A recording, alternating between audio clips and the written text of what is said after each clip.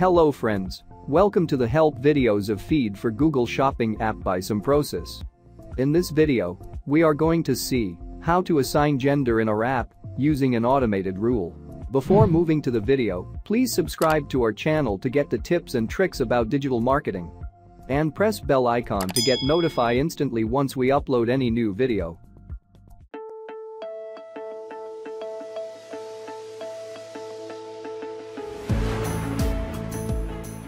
Gender attribute is used to specify gender value for which your product is intended.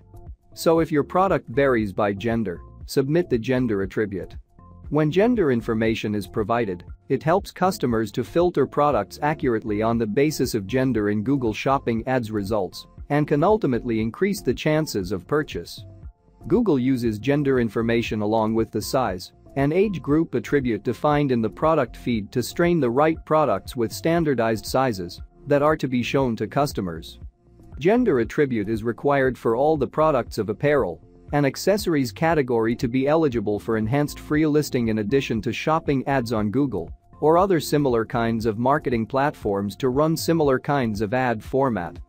Before proceeding ahead with assigning gender value, to resolve the warning message of missing value gender flag by Google Merchant Center.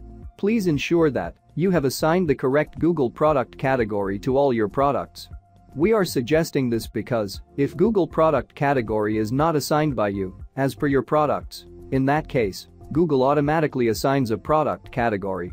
There are times when the product category assigned by Google is observed to be inaccurate the required attribute for this inaccurate product category may differ from the actual product requirements. Let's have a look at one use case we created for a demo. Here we are filtering a product using error from Merchant Center and selecting missing value gender. It shows one product with that warning. As we can see, Google product category is also not assigned for this product. Upon checking the same product in the Google Merchant Center, we can clearly see that this is a seasonal home decoration product as visible in the product image and stated in the product title. But Google has automatically categorized this product under necklaces, which falls under the category of apparel and accessories. And, as mentioned earlier, gender value will also be required for all apparel and accessories products. Google has raised a warning for missing value gender. So now to resolve this warning, we just need to assign the correct Google product category for this product within a wrap. It can be assigned using the Do Edits in Bulk feature. Once the Google product category is updated in the Merchant Center, warnings related to missing value gender, age group, and color will also vanish automatically without assigning the gender value within the app. The supported values we can choose from are male, female, unisex. We need to assign just one of the above values to the gender field. Hence, we recommend submitting an accurate gender value. Adding gender can help ensure that your products are shown with the right search results, which will result in boosting the conversion rate. Now let's proceed with assigning gender using automated rules. The automated rules for assigning the gender within the app can be created using the options listed below we are going to see some of the commonly used scenarios and use cases. From the app's interface, please hover over the settings menu and select automated rules for feed.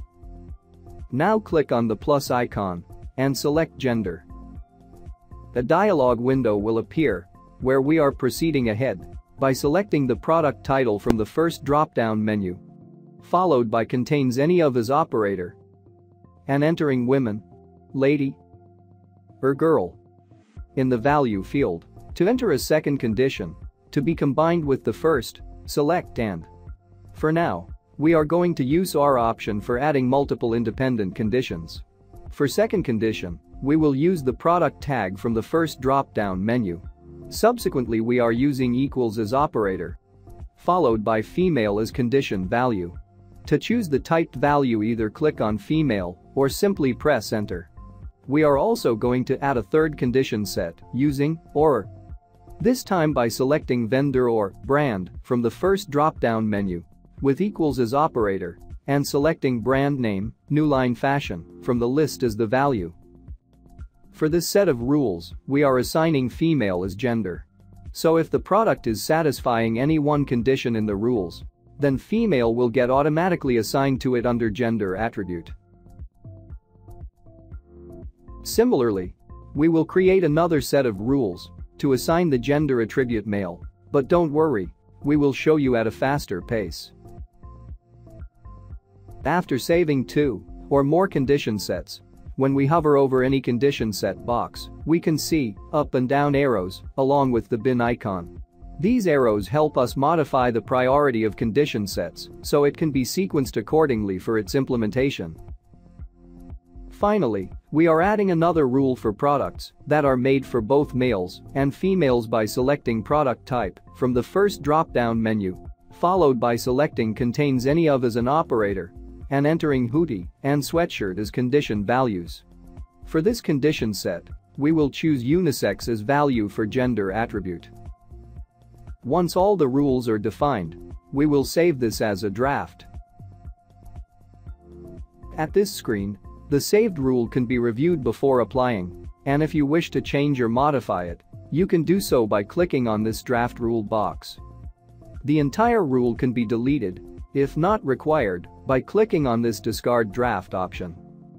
For now, let's apply this rule so that app can submit the gender values to Google Merchant Center for each product variant based on the condition it is satisfying. Please note, after applying any automated rule within a app, it will take about 30 to 45 minutes to reprocess the feed and submit it to respective marketing platforms. Now let's check how these applied rules look like within the app and Google Merchant Center. Please navigate to the Manage Products page in the app now as we have created a rule to assign the gender value to female, where the products having women in the title. In a similar fashion, we will check if the rule is applied or not by directly clicking on the product. Or can search here if you have many products by typing women. And all the products with women in the title will show up in the results. Let's click on the first product, women's high heel boots, to go on the product page. You might find it strange, even though the product title satisfies and validates the rule, still we are seeing that gender value is not selected and assigned here. The gender value is only visible here when it assigned using any of the following methods. If it is synced from the product meta field from your Shopify store. It is assigned within the app using the Do Edits in Bulk feature of the app. Assigned automatically as defined in the default settings of the app we have also added a help video links for above methods and features in the description below. To make it clear, any qualifying value for gender which should be assigned automatically based on the feed rules applied will be reflected within the Google Merchant Center and other marketing platforms directly. Please note, if you assign any value on the product page using any of the above three methods, along with that, if you are also creating a rule, then the value satisfying automated rule will be given precedence and it will be submitted in the feed with final product data attributes. Now let's check if the gender value assigned through automated rule has been submitted to the Google Merchant Center or not by clicking on the direct link here. As we can see on the Google Merchant Center's product page, the gender attribute already shows the female value under the raw feed attribute section. Similarly, let's check another product which is hoodie, for which we have created an automated rule with a condition that if the product type contains hoodie or sweatshirt, then unisex should be assigned automatically as gender value. As we can see on the product details page of Merchant Center, gender value unisex is assigned automatically in accordance with the rule created. We are sure, after watching this video, you might have realized the importance of creating automated rules and how they can ease the process of product feed submission for you. Hope this helps.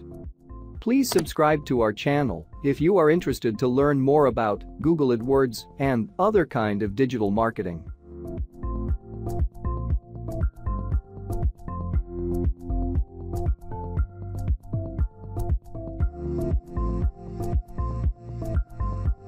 See you again in another video.